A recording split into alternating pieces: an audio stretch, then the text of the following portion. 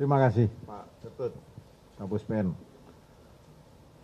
Kawan-kawan media yang saya hormati, saya yang pertama saya ucapkan terima kasih kepada kalian semua yang telah hadir di kantor kami di Kejaksaan Agung Republik Indonesia. Apa yang disampaikan Pak Ketut itu resume dari apa yang telah saya sampaikan pada beberapa media kemarin. Saya berturut-turut sampai jam setengah sembilan malam kemarin. Kenapa saya sampaikan itu? Supaya tidak bias ini. Ini penegakan hukum. Sesuai dengan kewenangan diatur dalam hukum acara pidana. Kami, tugas kami melakukan pembuktian dan proses penuntutan itu. Proses pembuktian itu sesuai dengan ketentuan acara pidana bahwa jaksa membuktikan sesuai dengan ketentuan KUHAP 183, 108 KUHAP bahwa jaksa telah memperoleh alat bukti yang cukup untuk melakukan penuntutan, untuk menuntut seseorang di depan persidangan. Itu diatur KUHAP. Yang saya ingin sampaikan sebetulnya kepada saudara saudara-saudara kita di seluruh Indonesia, hormatilah kewenangan penuntutan itu.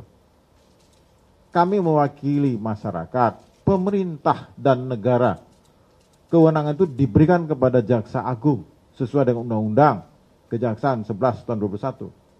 Berwenang melakukan penuntutan terhadap semua tindak pidana. Ini garis bawah. Ini kewenangan kami.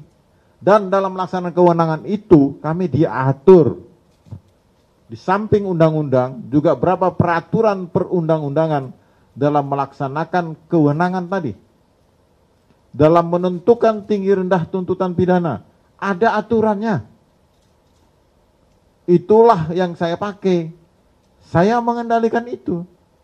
Ada aturannya. Bukan kita asal-asalan. Ini proses penuntutan dilakukan secara arif dan bijaksana.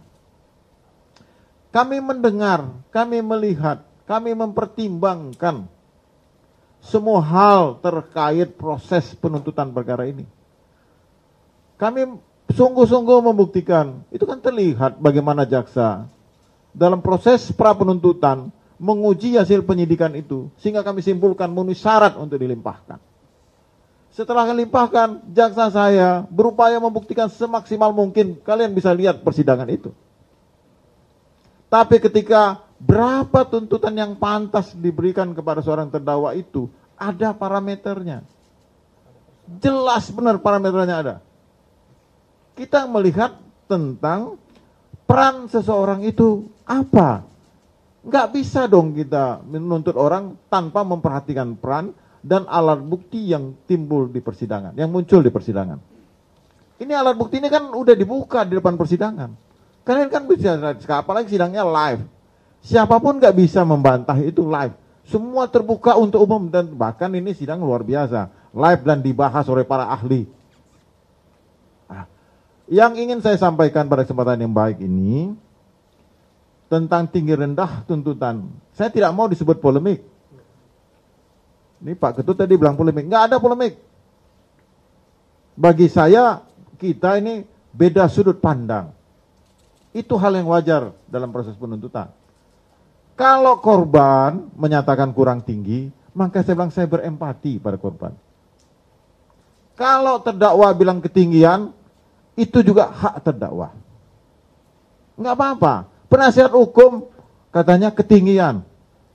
Itu hak terdakwa. Ini kan proses ini berjalan. Masih berjalan. Ada namanya fledoy, kita dengar fledoy dari penasihat hukum.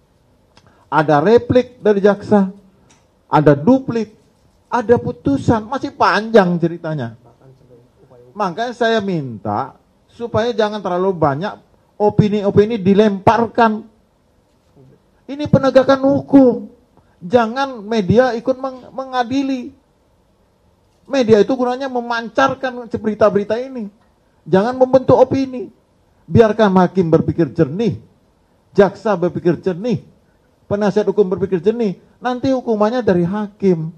Jangan kita giring opini ini mengarah kepada sesuatu. Nggak boleh. Hargailah kewenangan penuntut umum, hargai hakim. Dan saya menghargai penasihat hukum mau ngomong apa pun silakan itu hak dia selaku pembela. Tapi dalam proses penggiringan opini itu nggak boleh. Ini kita mengadili manusia.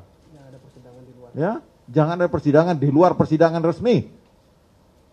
Ini nggak boleh. Ini saya ingin menyampaikan kepada seluruh uh, rakyat Indonesia bahwa Kejaksaan Agung ini memiliki kewenangan yang penuh.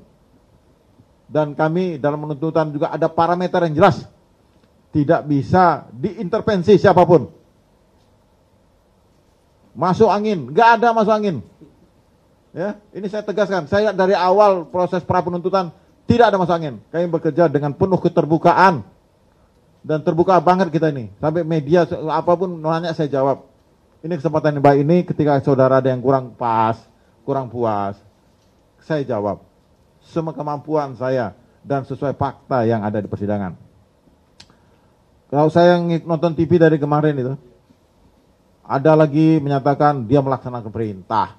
Ini saya sampaikan. Ini untuk penambahan wacana. Kalau dia seperti itu mungkin peraturannya dengan lolos saya buat. Tidak akan P21. Ini udah P21, udah sidang limpah terbukti, dibilang juga tidak apa melaksanakan perintah jabatan yang sah. Perintah jabatan yang sah itu sesuai dengan kewenangannya.